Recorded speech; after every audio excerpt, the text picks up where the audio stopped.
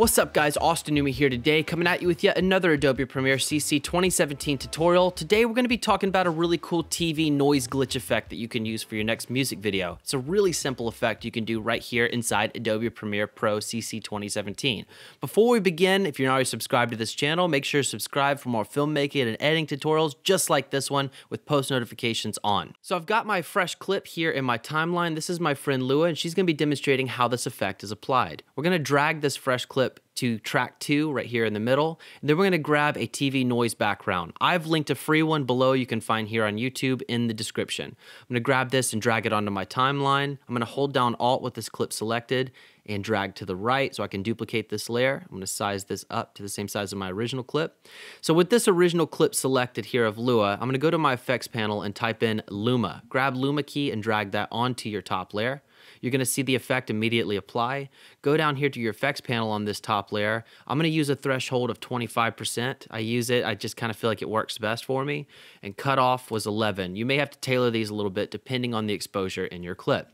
Now that I have those all set, I see this effect in areas that I don't want it. So all I would simply do is while I have this top clip selected, hold down Alt and drag up to duplicate the layer. I'm going to delete the Luma key off the top layer, go to the beginning of this clip here, go under opacity and select create ellipse mask.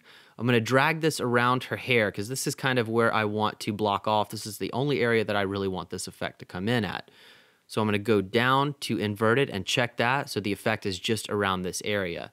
Now what I would do is I would just simply hit the stopwatch here to start a keyframe. I would move along and when I saw it was in areas that I didn't want, I'd go back to my mask and readjust it. And every time you would readjust it while you have this selected, it's going to go ahead and automatically keyframe each of those points. So I would just go through the entire clip and do that. For the tutorial's sake, I'm going to speed this process up. So now that I have all my keyframes set, I would go back to the beginning and I would start this effect. And I started it right when her hand touched the back of her head. I clipped this TV noise a little bit. I went one frame to the right, brought out my cutting tool, clipped it there. One more frame to the right using the right arrows. I'm gonna zoom in a little bit, make it easier.